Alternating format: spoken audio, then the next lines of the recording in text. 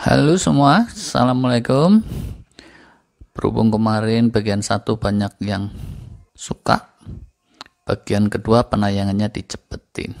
Hehehe Saya ini heran ya sebenarnya. Ternyata ya Di bagian satu kemarin tuh penontonnya pada ketawa-ketawa. Oh alah Rupa-rupanya ya. Kalau saya keterjang covid Kalian para penonton pada gembira ya Oh alah, astagfirullah. Orang kena covid kok diketawain. Ya cuma saya ini kayaknya. Gak apa-apalah. Yang penting mesti lebih banyak istighfar. Astagfirullah. Ini sebetulnya masih gak boleh perjalanan. Tapi berhubung kartun, settingnya di bandara. Yaitu ceritanya ini habis turun pesawat terbang dan bukannya saya habis nambal ban Hercules. Wah enak aja lu. Saya ini penyintas covid bukan tukang tambal ban. Walau mungkin potongannya agak mirip. Dah yuk. Mari kita mulai sharing bagian kedua. Covid covid covid. Covid seperti apa yang saya alami? Kelas ringan. Tapi ini sama sekali tidak menunjukkan saya punya kesaktian untuk menahan COVID. Sama sekali tidak, astagfirullah. Sakti apa nih wong saya ini? Nginjek telek pitik aja bisa jungkel. Yaitu juga kepleset, bukan sujud syukur. Mana ada sih? Nginjek telek pitik kok terus sujud syukur. Ayah ya wai. Pernah juga suatu ketika jalan-jalan gitu, tahu-tahu plok ada burung nelek. Jatuhnya itu kok ya pas ke muka saya. Itu pernah beneran kisah nyata padahal ya orang yang jalan-jalan itu ribuan. Nggak ada yang kena. Yang kena pas di muka ya cuma saya. Hmm. istri saya terus ketawa ngakak mikir dan muku memang kayak gitu tuh. Suaminya kena taplok tai burung bagi dia merupakan kebahagiaan tersendiri Intinya ya, saya kena COVID-nya itu kelas ringan bukan karena sakti, tapi dasarnya 70-80% kasus COVID memang kasus ringan atau mild. Di sinilah bahayanya COVID, paradoks ini. Karena dia penyakit ringan untuk 70-80% populasi, dia jadi berbahaya buat yang 20-30% sisanya. Karena yang 70-80% tadi masih pada keluyuran bawa-bawa virus. Dari mana saya kena COVID? Dari Allah tentu saja. Wah, kau pakai nanya segala nih kepo. Gak mungkin lah saya dapat COVID kiriman dari dukun pijatnya Joe Biden. Walah, Joe Biden itu kan presiden Amerika. Mana punya dia langganan tukang pijat. Ya kan? Presiden Amerika itu paling juga langganan tukang sayur, tukang kerupuk. Sudahlah, lupakan urusan presiden, kita kembali ke COVID. Pertama tentu karena takdir Allah, tapi spesifiknya kena COVID itu sebabnya karena kondisi tidak fit. Kalian tahu nggak kondisi tidak fit itu apa? Kalau nggak tahu, kalah sama dokter-dokter India. Acak-acak nih walah bosen kalau India terus. Namanya kondisi tidak fit itu ya gampangnya ada dua. Pertama mitokondria dan sel-sel tubuh sedang loyo kurang bukar kedua antibodi dan daya imun sedang menurun juga soal mitokondria dan sel tubuh kapan-kapan kita bisa bikinin videonya. Kenapa bisa loyo? Penyebab utama karena tidak muda lagi. Tapi jangan dibilang tuwek. Jadi walaupun tidak ada komorbid berat-berat sudah suratannya seperti itu. Semakin umur kita semakin sering loyo sel-sel tubuhnya dan mitokondrianya Beda sama kalian yang masih muda dan kinyis-kinyis. Loyonya jarang. Tapi sekalinya loyo terus jukel. Enggak ding. Waktu itu ya, ada kejadian anak demam, diare, muntah-muntah. Terus dua harian deep sleep saya ngedrop, istri saya malah ngedropnya tiga hari dan berturut-turut. Ya udah, beberapa hari deep sleep ngedrop, sesuai teori, mitokondria menjadi melemah, antibody juga ngedrop. Saya pernah bikin videonya nih tentang tidur dan deep sleep. Bisa dilihat sendiri. Nah, kondisi tidak fit itu terus dikombinasi dengan tinggal di daerah zona merah COVID. Kalau tinggal di daerah zona nyaman, mestinya selamat. Kalau zona banjir, bisa kelelep. Di zona merah COVID, bagaimanapun virus tentu gentayangan terus ketularan. Prokes sudah diikuti, tapi tentu saja kita nggak bisa 24 jam pakai APD. Paling pakai masker, cuci tangan, cuci mulut, kadang cuci cucanti. Walah. Walau dibatasi, tetap saja sesekali ada keluar rumah, ada dari luar rumah kiriman datang, pedagang kasih dagangan, nggak mungkin steril 100%. Andai kondisi fit, maka virus yang dikit-dikit itu bisa ditepis oleh tubuh kita, tapi pas kondisi nggak fit, ya terinfeksi. Andai bukan zona COVID, bisa aja kenanya penyakit BLN, timbilan di mata, atau bisulan pas di jidat. Wah, bisul di jidat ini merepotkan orang yang bingung. Soalnya orang bingung sering tepok jidat. Wadaw, kiang-kiang itu kalau pas tepuk jidat ada bisulnya. Tapi bisul ini juga bisa terjadi di daerah bumper, bumper truk tronton, megal-megal itu kalau salah posisi. Sampai mana ini tadi kok belok soal bisul di daerah bumper? Hmm. Jadi, kemungkinan saya ini ketularan dari istri atau istri ketularan dari saya dan salah satu dari kami atau dua-duanya itu terpampar dari luar. Yaitu luar rumah bukan luar angkasa. Dalam rumah terus saya mengabaikan prokes. Lawung sama istri kan ya kalau pakai prokes terus lingak-lingu hal kedua gimana rasanya kena covid Kata orang itu macam-macam beda-beda. Ini saya ceritakan pengalaman pribadi saja. Ada hal-hal yang tidak biasa. Pertamanya, ada rasa meriang-meriang. Seperti mau kena flu gitu, tapi saya tidak pernah benar-benar demam. Apakah ada pusing? Kadang-kadang. Ada pusing dikit, tapi jarang. Kadang ada bersin-bersin juga. Tapi saya cek di internet, malah kalau ada bersin-bersin, banyak virus kelontar keluar, banyak virus terbunuh. Yang kondisi COVID-nya berat, banyak yang tidak pakai bersin.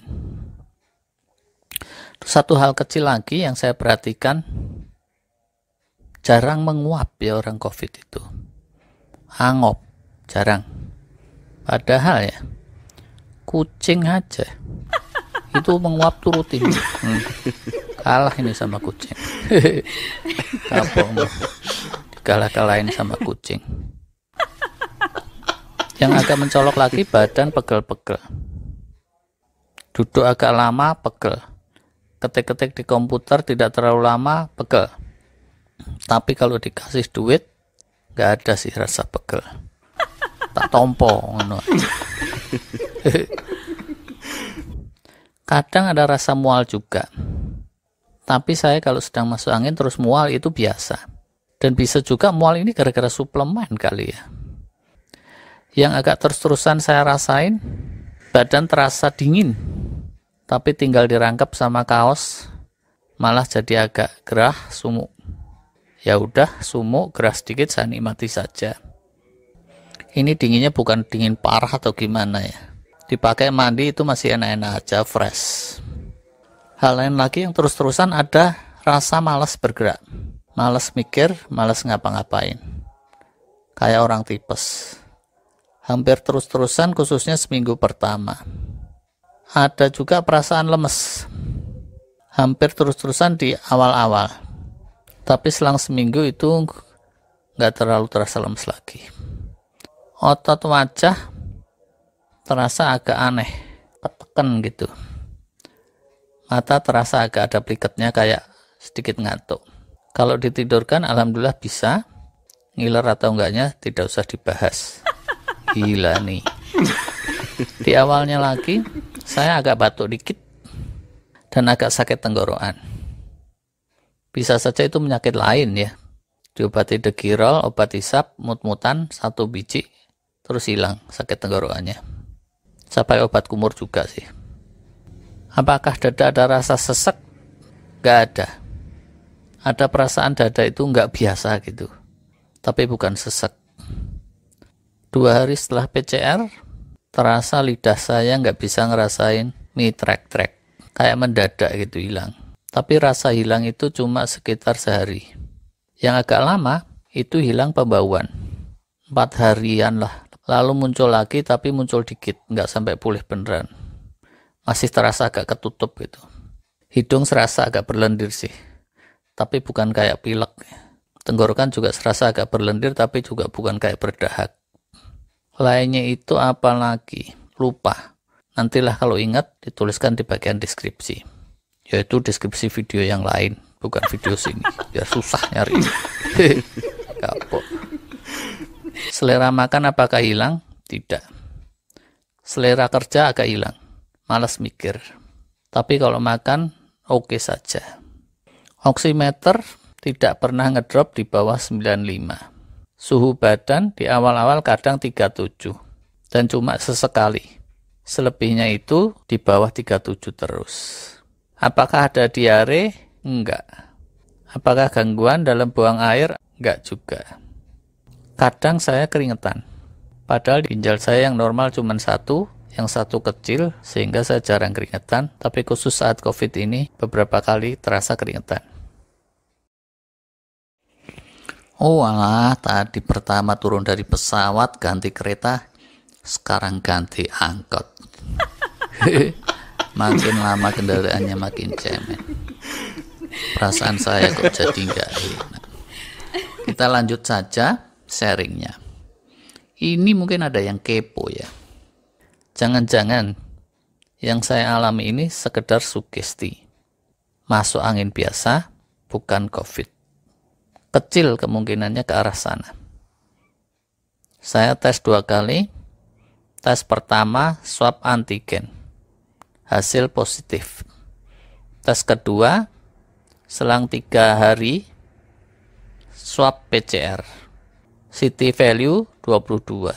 Nah, kalau segitu dibilang bukan COVID, mungkin dokter-dokter se-Indonesia bisa gulung-gulung rame-rame. Nah, buat yang selama ini tinggal di gua atau di atas pohon, izin menginfokan. CT score ini gambaran kekentalan virus di permukaan luar, yaitu di rongga hidung dan rongga mulut. Mulut manusia bukan mulut embek, apalagi mulut kudanil. Ombor karuan itu kalau mulut kudanil, terutama kalau pas angop. bukan urusan kita. Nah, soal seberapa merakrak virus COVID-nya di bagian dalam tubuh, itu beda lagi, nggak terukur dari skor CT, tapi itu akan lebih menentukan tingkat keparahannya COVID. Tuh kan bener, memang dari tadi perasaan saya udah nggak enak. Sekarang malah naik bentor sekali, becak motor. Nggak apa-apa yang penting ISIS sehat ini kalau habis kena covid terus kecing matahari walaupun bugrek semua waduh. Turun becak kok terus ada odong-odong sisan. Sorry ya. Kalau naik odong-odong saya nggak mau. Maaf ya. Terang om. Bayarnya boleh 12 kali angsuran kok. Tanpa bunga. Oh, lawang bayar odong-odong kok 12 kali angsuran. Ada cashbacknya juga nih. 1500 bebas ongkir lagi COD juga bisa. Loh. Odong-odong kok COD bebas ongkir. Ongkir itu gunanya apa buat odong-odong? Iyalah odong-odong ditolak. Ujungnya malah numpak wedus pertamanya tadi pesawat loh ini padahal saya naiknya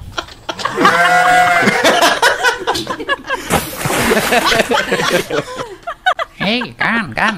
Kok latihannya di sini kan? Kolam renangnya masih 100 meter lagi tuh ke arah sana. Sing latihan renang ki yo sopo? Saya ini kecemplung tahu waduh ini kalian jangan pada ketawa loh ya. Kecemplung itu tuh suatu musibah sebenarnya. Jangan malah diketawain. Kemarin lapor covid diketawain. Sekarang ketawa lagi istighfar istighfar. Ayo ayo ayo semuanya pada istighfar. Iya. Lah nih malah tambah karuan ini. perlu pelampung kan? Nih ada pelampung. Aduh saya ini kecemplung bukan latihan renang. Aduh. Tenang kan kalau mau sikat WC saya juga punya. Oh, sikat WC. Kamu pakai aja sendiri tuh buat swap nyogrok irungmu. Kapok. Wah, wah, wong ditawari dagangan kok emosi. Enggak, enggak, enggak. Saya enggak emosi. Tuh kan, kendaraan jemputannya udah datang kendaraan jemputan batukmu sempal. Walah daripada makin hancur kayaknya ini lebih baik disudahi dulu. Sharing bagian kedua semoga nanti bagian ketiga isinya lebih serius. Oh mas sampai nunggu giliran jamban kok di situ? Kotor tuh di situ. Wah amit amit jabang bayi. Ternyata ini tadi jambannya ada yang sedang nongkrong ini pantas baunya kayak pete busuk astagfirullah. Mesti buru-buru ikut protokol kesehatan ini saya. Mandi bersih kalau perlu pakai APD lengkap. Walah.